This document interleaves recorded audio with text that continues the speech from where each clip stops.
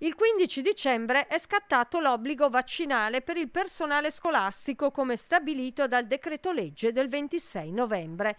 Ai non vaccinati sono stati notificati gli inviti a presentare entro cinque giorni la documentazione relativa o alla venuta vaccinazione o alla prenotazione del vaccino oppure l'esenzione. È una situazione sotto controllo, tenuta assolutamente in ordine rispetto al, al gran numero di docenti e di personale che ho nella scuola.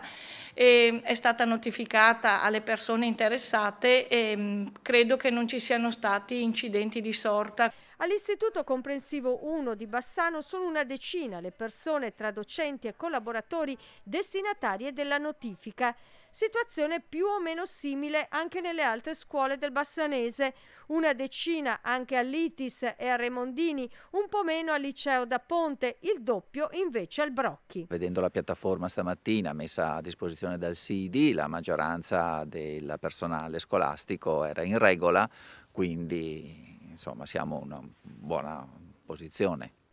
Fondamentali saranno i prossimi giorni. Nel frattempo i non vaccinati possono continuare a lavorare con tampone negativo in attesa di presentare i documenti. Nel momento in cui una persona decidesse di non presentare nulla è chiaro che si applica la normativa e si deve passare necessariamente alla sospensione del, servizio. Mi auguro e auspico che eh, siano ridotte queste condizioni e quindi mettano soprattutto gli studenti nella condizione di avere meno disagio possibile. Se manteniamo tutti un senso di collaborazione e di tranquillità forse riusciamo davvero a gestire questo particolare momento.